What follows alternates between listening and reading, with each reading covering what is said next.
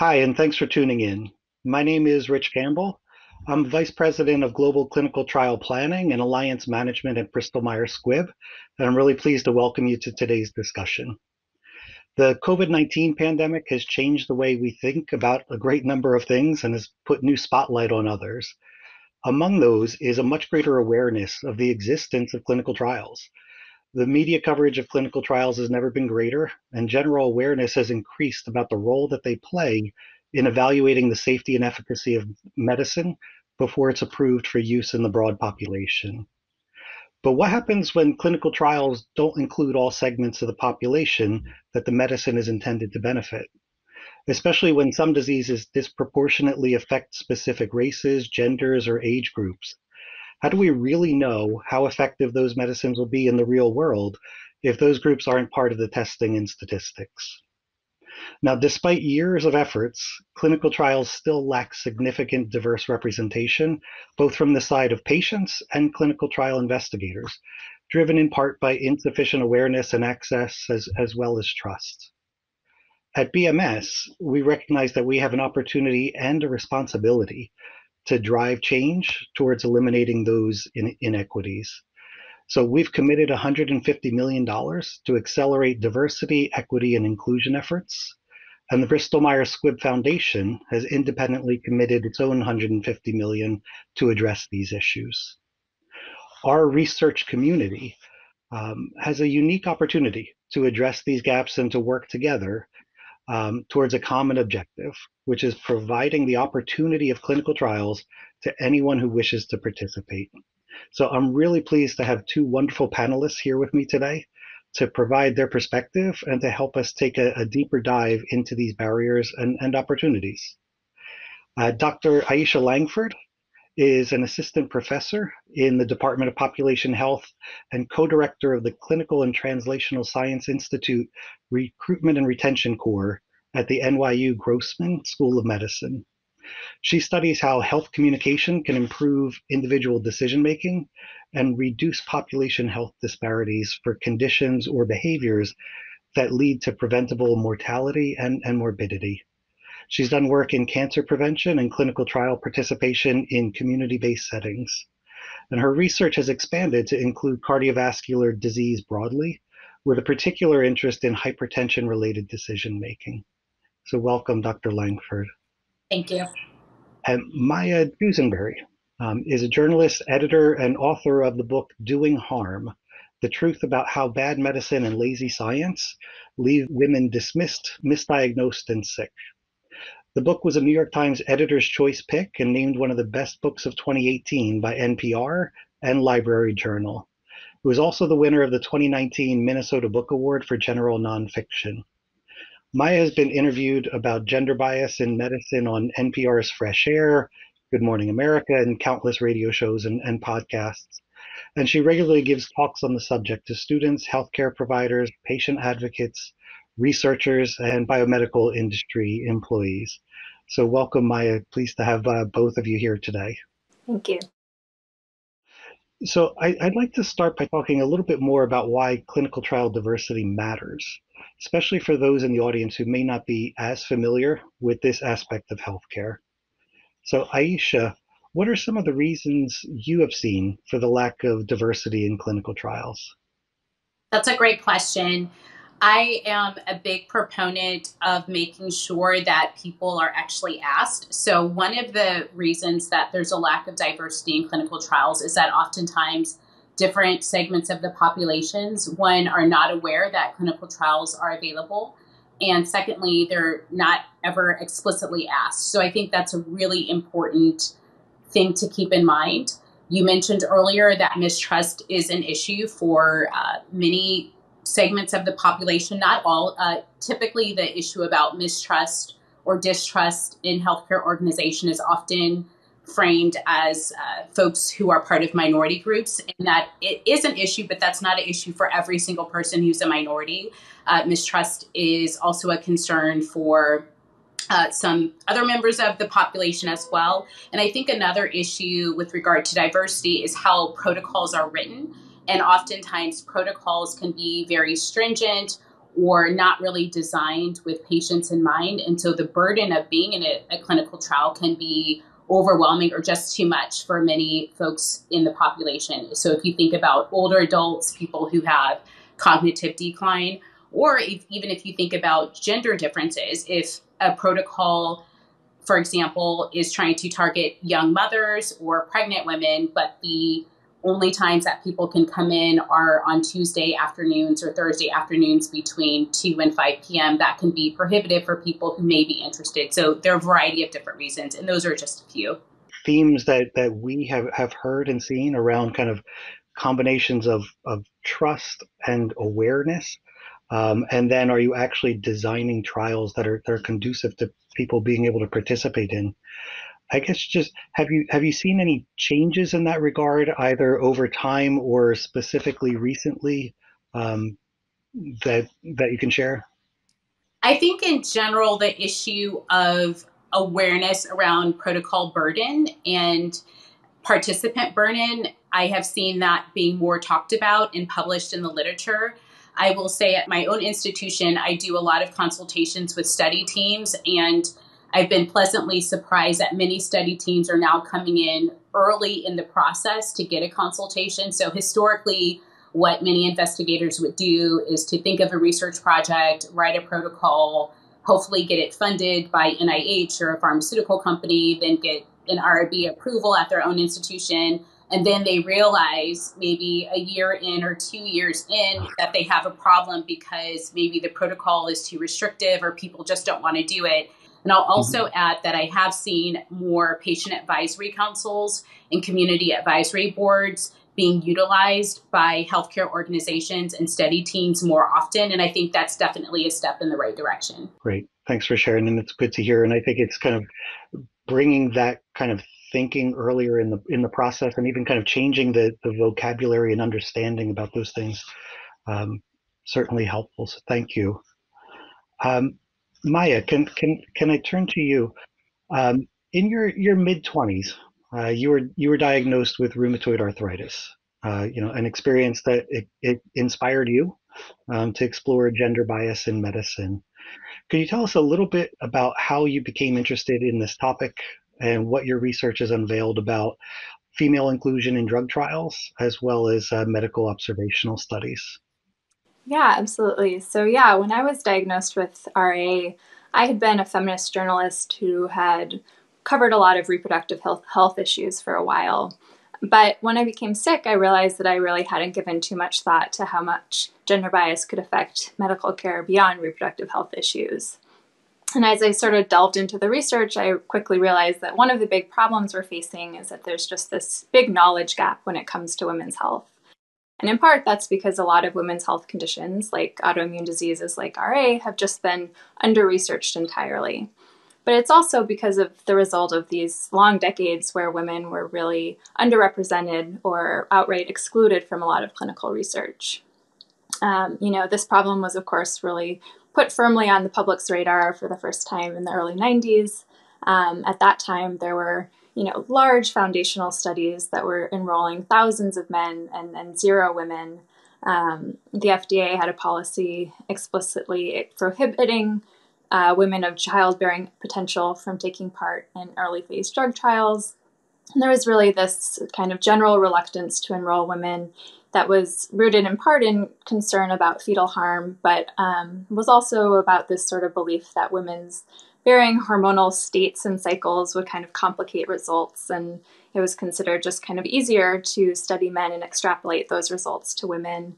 And we've certainly made a lot of progress in, in the years um, and decades since. But, you know, one of the things that I learned is still, you know, an ongoing issue is that while women are really usually included in studies these days, it still hasn't totally become the norm for researchers to always analyze their results by gender and to actually include those analyses in their published journal articles on their work. Um, you know, when I was doing my research, some of the experts I spoke to about this described this as a sort of add women and stir approach, where yes, women are included, but we're still really not gaining as much knowledge as we could be about how their symptoms or response to treatment may differ from men's.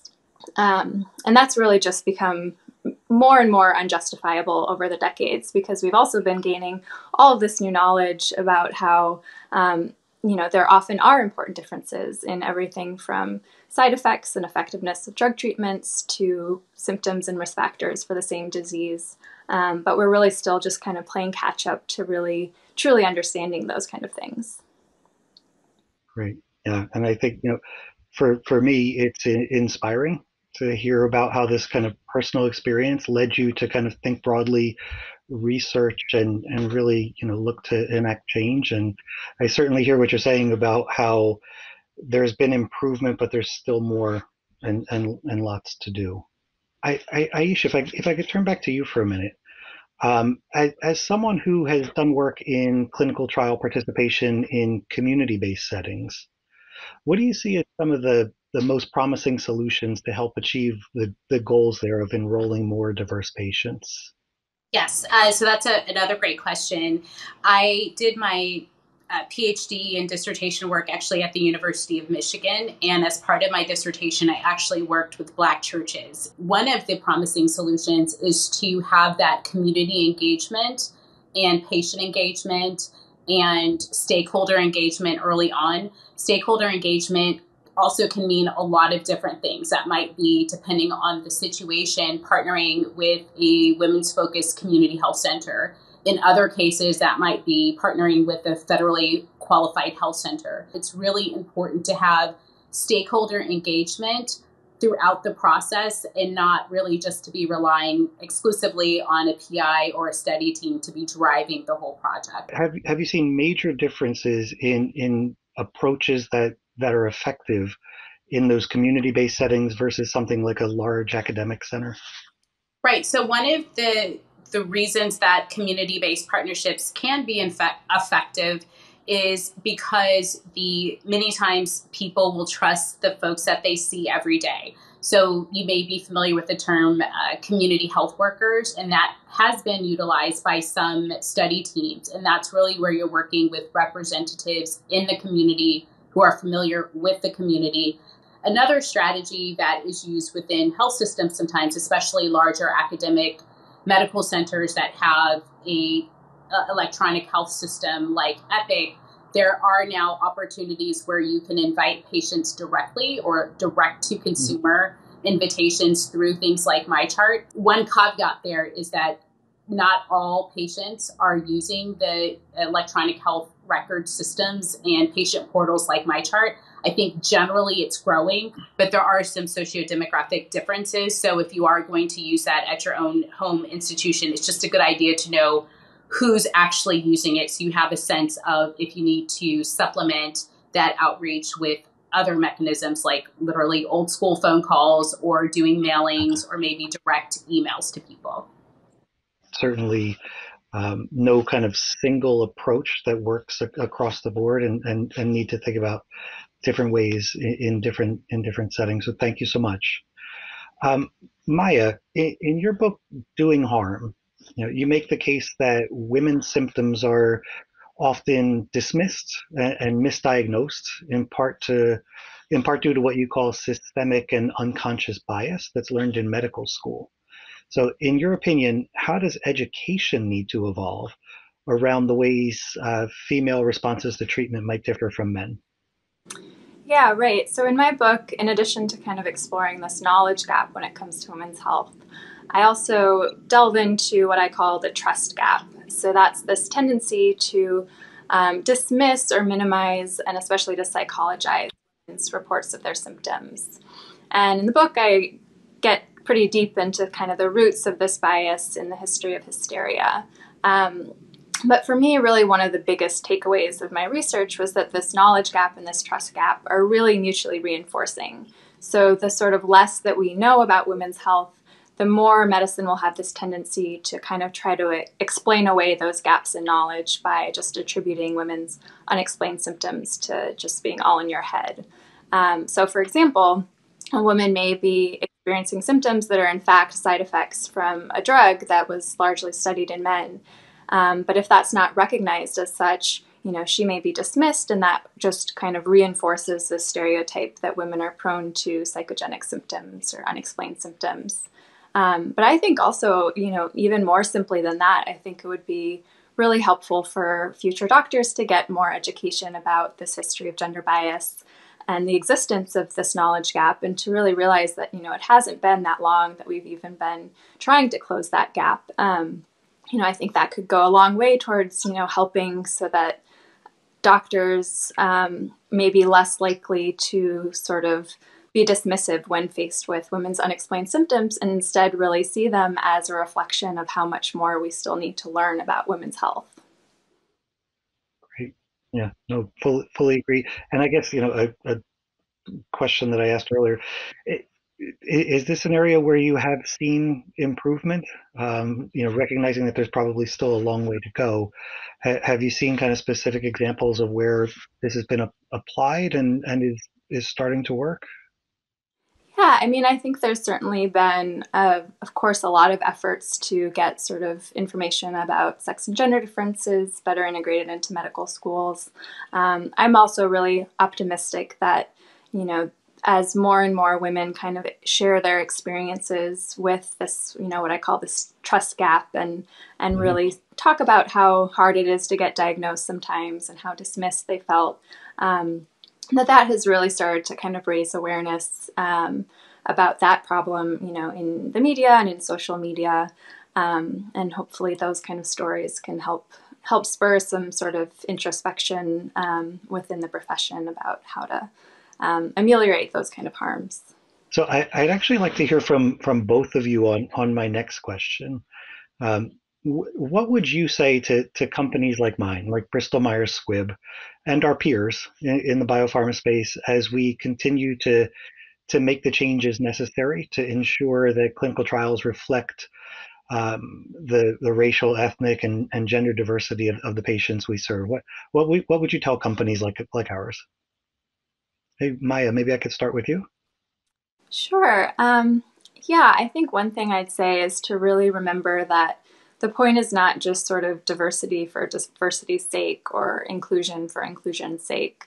Um, you know, the reason it's so important to enroll both men and women and to pay attention to the possibility that there are differences between the two is really to improve medical care for both genders, um, as well as to just sort of advance medical knowledge more generally and, and give us better understandings of the human body. And I think it's important to remember that for women, this is especially important because of the historical neglect of women's health. Um, and so I think I'd, I'd say that the pharma industry and the biomedical research community more broadly um, should also really be kind of motivated by that larger goal of just kind of closing that knowledge gap when it comes to women's health. Um, and doing that, I think, you know, is really will require more than just kind of checking off the box that you know we included x number of women in a particular study but really thinking more deeply about things like what are the questions we haven't asked? What are the areas that are still really understudied? And how can we really sort of engage more with patients and patient communities to design research that um, is is following their lead in, in thinking about what will better serve them? And Aisha, same question to you. Yes, I totally agree with everything Maya just said. I would also raise the question of what do we actually mean by diversity? So, diversity can mean a lot of different things. So, diversity could mean we're getting patients from different medical settings, right? Academic medical centers versus federally qualified health centers. It could be diversity in terms of health conditions that are actually represented in the research. Diversity could have to do with age and making sure we're having people across the lifespan, not just healthy 25 year olds, but that we have men and women who are over 65 um, in their later years. Um, I would also say that there is a lot of talk about racial and ethnic diversity, which I do think is important, but race uh, is a social construct. And so sometimes that gets conflated with okay, if we have enough African Americans and Hispanic adults and Asian adults, then we can make inferences about biological differences or genetic differences, and we know that that's not based in science. Um, but the the social justice aspect is that kind of the idea of with research ethics that you want the risk and benefits of research to be fairly distributed across the population. So the idea around equity and justice would be that people who want to participate should have the opportunity to participate. And that has to do with equity in who's aware of the trials, who's asked, and if the protocol is not so overly restrictive that whole groups of people aren't able to get into it. So those are some of the things that I would suggest. And then also, I think Maya touched upon this, really making sure that the populations of interest and the populations that may most benefit from that research are included early on in the process and have a voice. Uh, in addition to the biomedical and physical outcomes, which are usually the main outcomes of a study team, that the uh, quality of life and other kind of concerns of patients and families and communities, many times they're not necessarily worried about, okay, did the blood pressure go up three or four points? They may be worried about, okay, does this medication or this mo- protocol impact like my physical functioning or how I feel every day? So I think it's important to have that patient and community voice to understand what things are we missing that are important to the communities that will benefit from this research. Great. No, no and, and all great uh, advice. So th- thank you both um, for that. Uh, I, I, guess I just have one last question um, for for both of you, which is uh, you know kind of about a about a, the moment that we're in, right? With the um, the the pandemic and the racial justice movement, bringing kind of new urgency and attention to inequities, um, including in healthcare you know, how can how can the industry and, and, and the community really seize this moment in a way that we can affect long-term positive change? Um, and Aisha, maybe I'll start with you on this one. Sure. So it's going to sound a little bit flip, but I think Einstein said if you want different results, you can't keep doing the same thing over and over. And so I am encouraged that there's so much awareness around health disparities and health inequities uh, but we all know that those aren't new issues. And so many companies last year, and I guess maybe still this year, have done statements about, you know, social justice is important and we all need to kind of combat all of these things. So I'll be really interested a year from now and three years from now and five years from now if those companies actually follow through with real action. But I do think it, it is really important to kind of think about the root causes of many of these things. And so even how uh, biomedical companies fund research uh, rich researchers they're you know making grants available to you making sure that you have investigators of color and women and investigators with a variety of backgrounds getting grants to conduct research and then also kind of back to the protocol development side of things where you open up a trial has huge implications for who can participate. The um, the parameters around the study visits and what's required, that whole patient burden, that may have huge implications for people who are older adults or women who have children or women in general or women who are pregnant. I think Maya touched upon, I, I understand the concern sometimes of not wanting to include pregnant women right away, but pregnant women get illnesses, pregnant women have to get vaccines, pregnant women, all the things that we deal with in the world, pregnant women have to deal with as well. And so you could make the argument that unless there's a really good, you know, physical reason or logistical reason to exclude pregnant women, that maybe we should not be doing that either, that maybe we should maybe rethink how we do our trials. And in the same way with pediatrics and adults, maybe we should think about um, having that in parallel as well so that we're not always playing catch up when it comes to women's health. Great, thank you. And and Maya, same question to you. Yeah, yeah. I mean, it really does seem like the pandemic has just been exposing so many inequities and systemic problems that have long been there in, in so many realms, but um, have just made things like disparities in underlying health and inequities when it comes to access to healthcare, and then also the biases that can often affect the delivery of that care, making all of those things so much more clear. Um, I think this moment is really unprecedented too, in the fact that the public is, you know, watching science happen in real time in, in this way and is so engaged in that. Um, and I think that ultimately, in the long run, that will be a really valuable thing to have more people sort of understand that biomedical knowledge is created by human beings who are operating in institutions, and, and science is really this sort of messy, very human thing um, that's certainly subject to cultural biases and to missteps along the way. Um, and I think the best thing that the pharma industry, as well as really all, all players in, in the medical field, can do in this moment is to be really transparent and honest about the sort of history of failures of the past um, and really recognize that, you know, doing better in the future will also require sort of reckoning with the ways that those failures have led to a lot of distrust among some communities um, and not just sort of brushing that aside but really recognizing that that is really justified dist- distrust in, in a lot of realms. I know we could talk about this for hours. It's a critical topic um, but we do unfortunately have to have to close for today. And I think you know what I've heard is that we we've made some progress, but there's plenty of, of opportunity um, for us to continue to work towards you know meaningful, lasting change in this area.